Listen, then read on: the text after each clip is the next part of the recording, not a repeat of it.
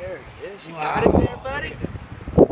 That's a cutthroat trout. That's a cutthroat? Yeah, that's a cutthroat. Once you got the, uh, you're right. That's maybe exactly. Well, it's, it's probably a cut bow. It's a hybrid between a rainbow and a cutthroat. Uh-huh.